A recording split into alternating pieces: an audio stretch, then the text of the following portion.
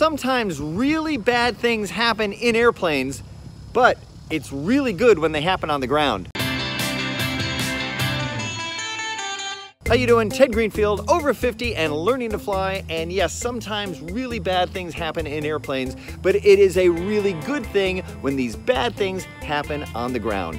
So here's what happened to me. I went to start my airplane the other day and I did my pre-flight and as I was doing my pre-flight I checked the oil and I noticed my oil was down about a quart and a half which is really really odd. So I added a quart and a half of oil and I kind of kept that in the back of my head thinking about that. I went, did the pre-flight, everything's fine. I went to start up the engine and it was boom, boom, boom, boom, boom, boom, boom, boom and it was super, super rough. It felt like it was running on three cylinders. It was just bad all the way around. And my mechanic just happened to be right there, so I shut off the engine. He came over. We did a mag check. We started it up again. It wasn't the mags.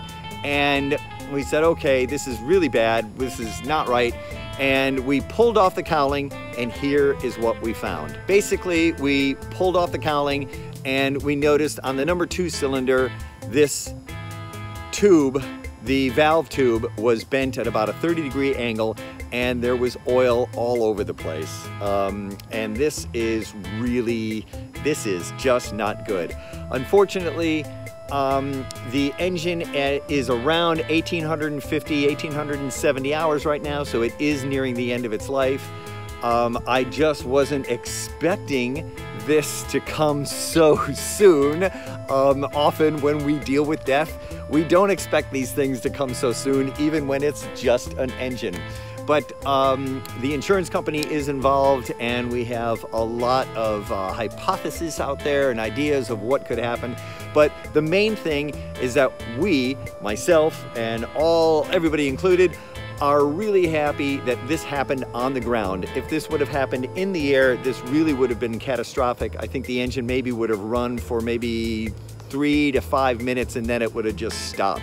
Um, and also, as I started it, uh, before we removed the cowling and saw it, as I started it, I had the throttle in about maybe 60%, 70% of the way, and it was only going up to maybe 18, 1900 RPM. So it wouldn't have generated any power at all if, uh, if this happened in the air. So it's fantastic that this happened on the ground. Um, the insurance company is involved, so we will find out what the insurance company says. And now we may be looking at a, well, let's just use the word may. We may, on the positive side of may, maybe leaning over may towards will, but we're not there yet.